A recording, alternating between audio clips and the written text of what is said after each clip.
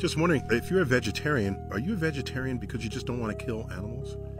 Okay, uh, that's fine. It may be if you live in a home with a basement, you have a humane mousetrap. So if you capture a mouse, it, you don't snap its neck.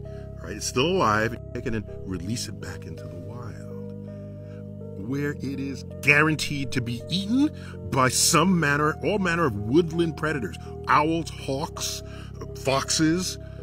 The average life expectancy of a mouse in the wild is somewhere between 9 and 18 months. If you care about animal life that much, the best thing you could do for the mouse is leave it in your basement.